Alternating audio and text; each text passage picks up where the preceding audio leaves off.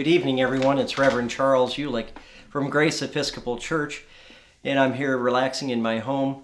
I'm pre recording these evening prayers uh, for you while I'm on vacation for fall break with my family. Please know that you are also in my prayers each day while I am on vacation as well. Today is the eighth day of October, and we've been celebrating the festival day of Richard Ely and William Bliss two wonderful men of God who brought about an understanding of God's economy in a different way of the gospel. Tell you a little bit more about them here in just a few moments. Let us put ourselves in God's holy presence as we wind down our day.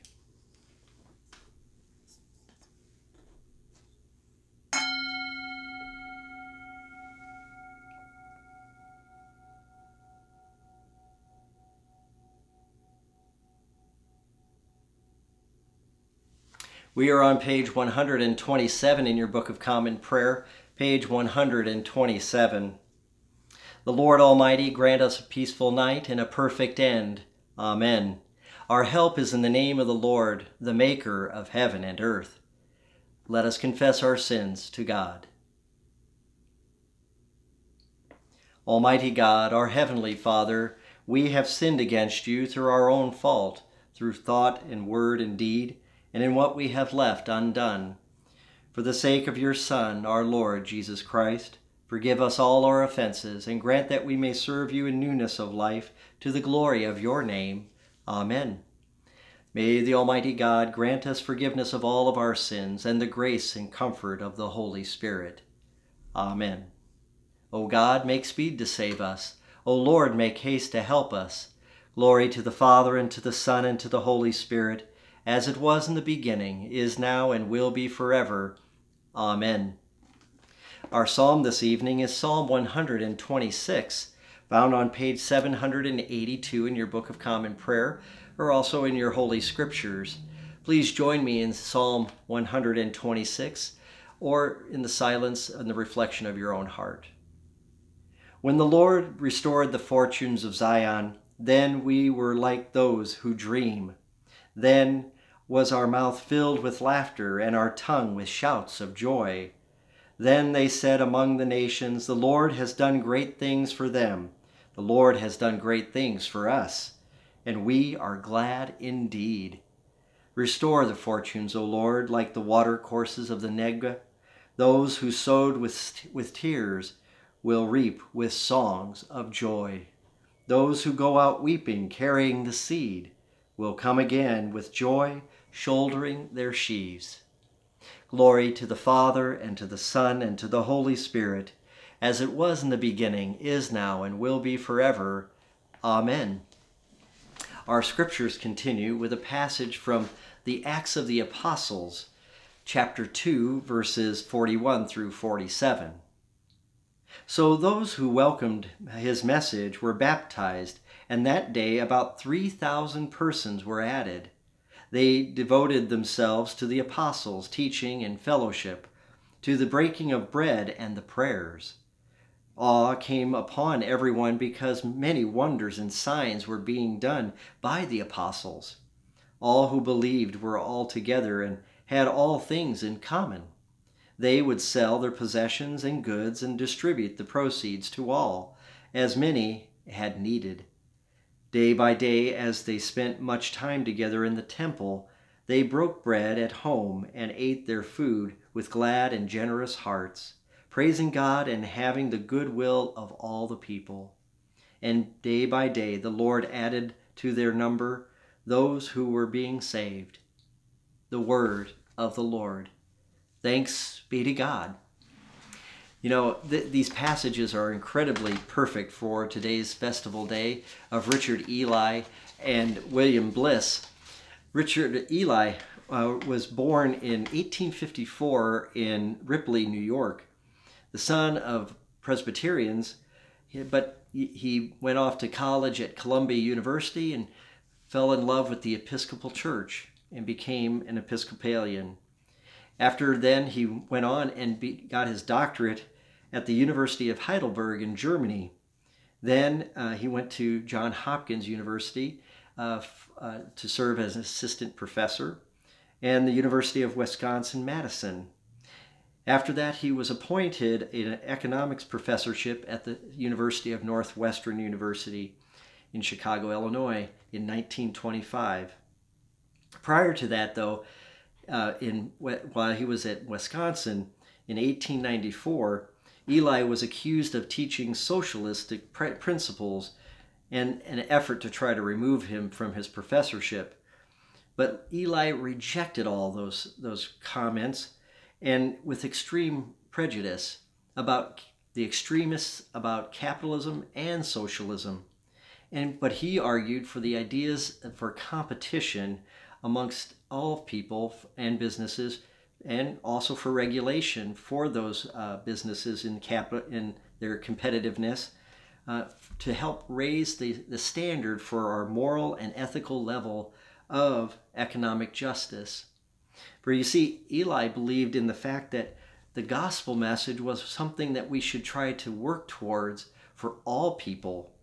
He would fight for those uh, who were disenfranchised, especially, and challenged the Episcopal Church multiple times to try to um, earn the rights and the dignity of all American workers uh, during that period of time.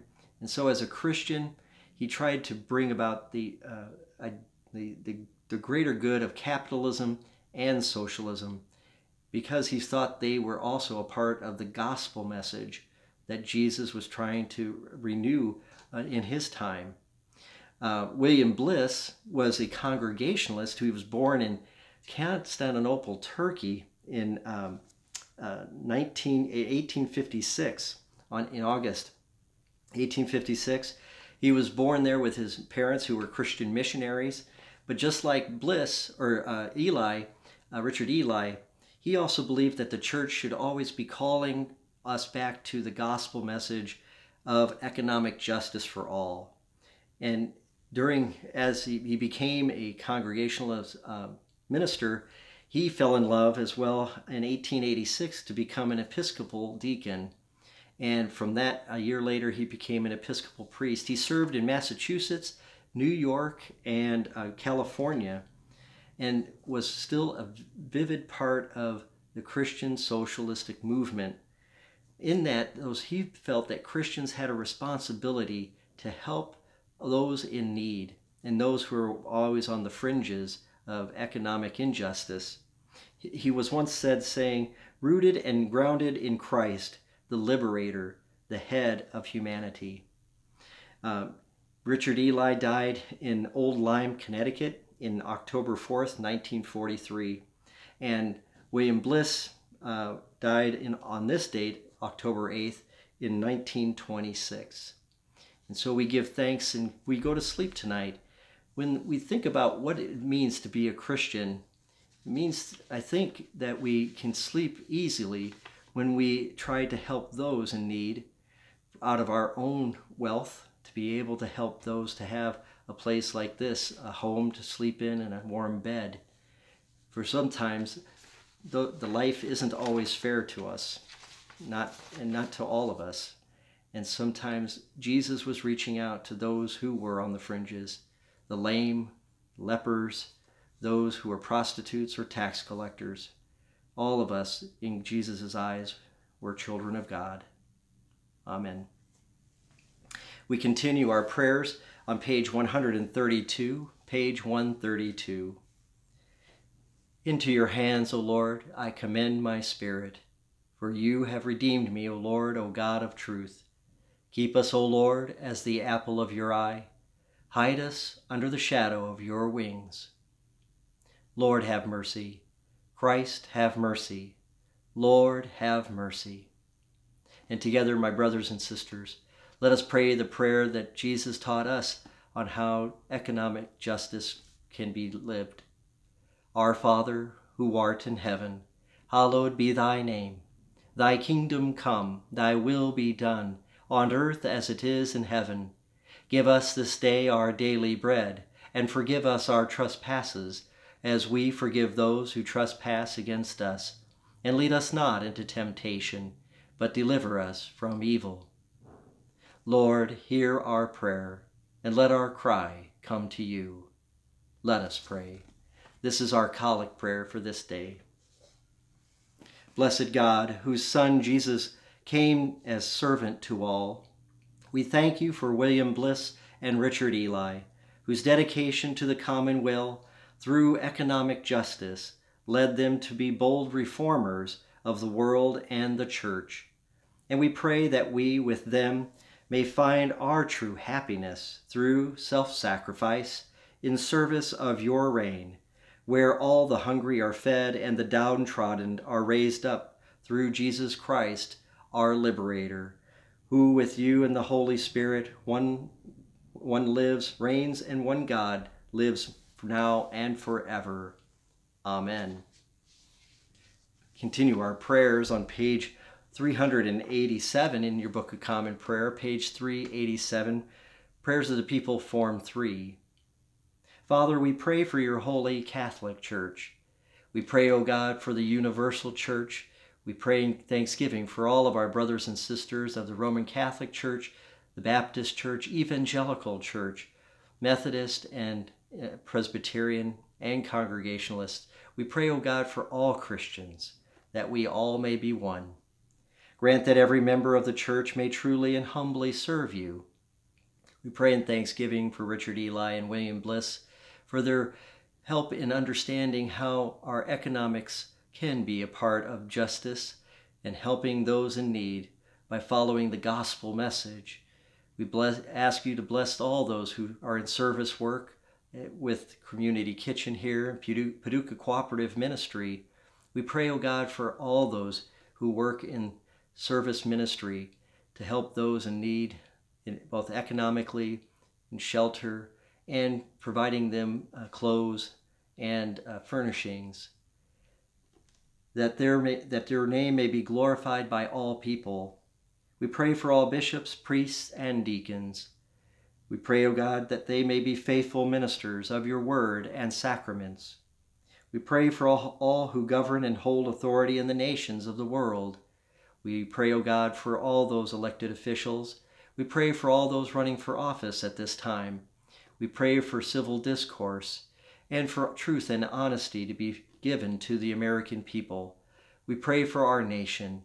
God, may you bless it and guide its leaders with holy wisdom to help all, serve all those they were elected to serve, that there may be justice and peace on the earth.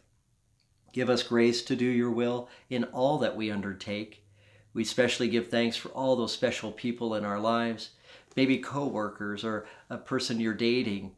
We give thanks, oh God, for our partners as, as married couples, and we pray for all those who are our couples, and we pray for our partners we pray for all of our children and give thanks for all of our loved ones, especially those who are celebrating a birthday or wedding anniversary.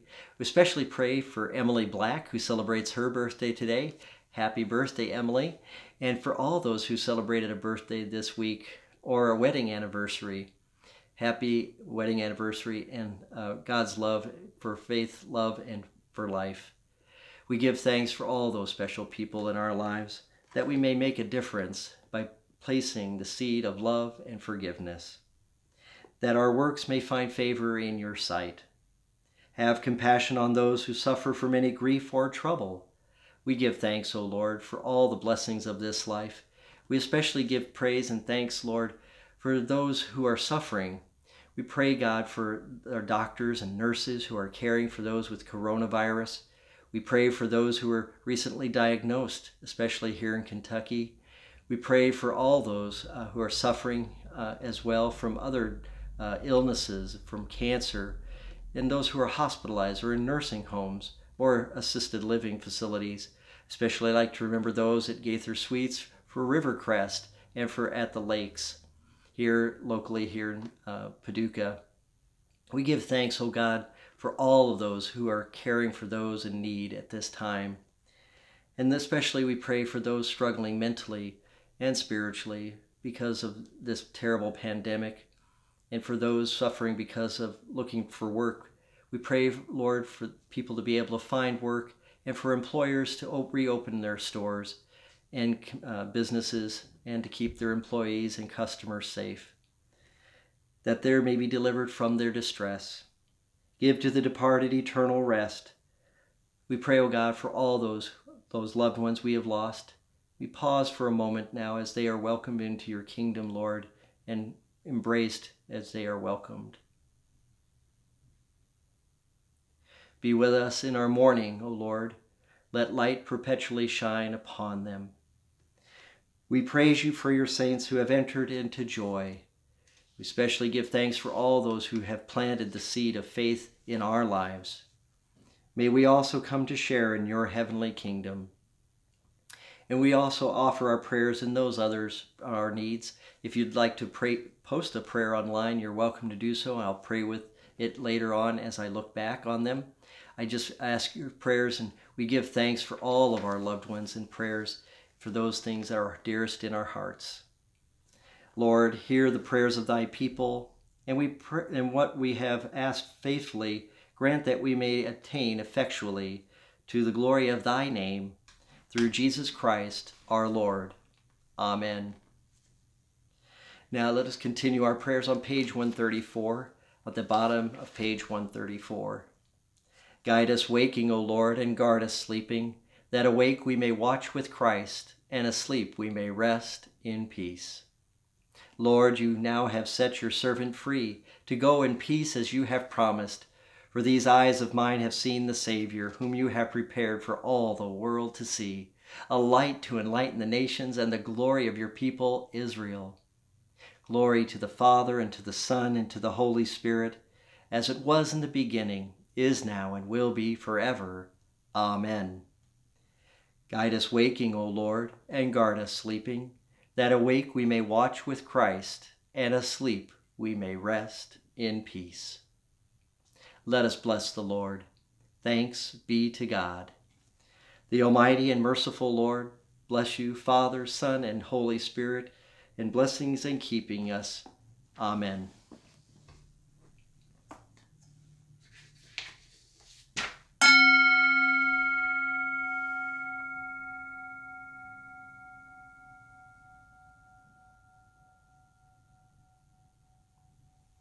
Thank you so much for joining me this evening. I hope you have a wonderful night and a restful sleep and dream wonderful dreams. Thank you for joining me. I hope if, if, if you find this helpful for you, share it with somebody else online that they might find it helpful for them, especially if they're looking for a faith community or struggling in their own spiritual life. Remember, God loves you, and I love you too. Have a wonderful sleep and sweet dreams.